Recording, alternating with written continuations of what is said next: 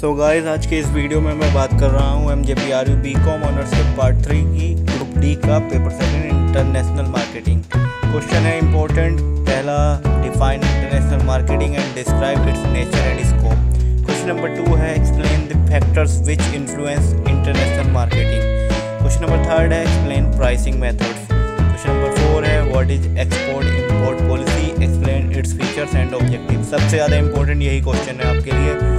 Guys short question में बात करें तो differentiate between domestic and international marketing ये भी बहुत इंपॉर्टेंट क्वेश्चन है। Differentiate between labelling and packaging explain direct exporting channel and indirect exporting channel of distribution last question है what is branding so guys तैयारी कीजिए अपनी और बेहतर मार्क्स लाने के लिए हमारे साथ जुड़े रहिए। भविष्य में और कॉमर्स की दुनिया के साथ मिलकर के आगे बढ़ते रहिए। थैंक यू सो मच हमारे साथ बने रहने के लिए।